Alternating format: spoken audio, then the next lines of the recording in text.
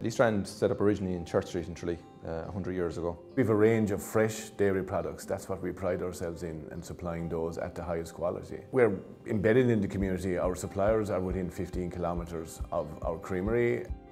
Sustainability is important for us, so we're very conscious of our production, our collections and our packaging partners. It's very good to marry that in with a packaging material that has a very low carbon footprint.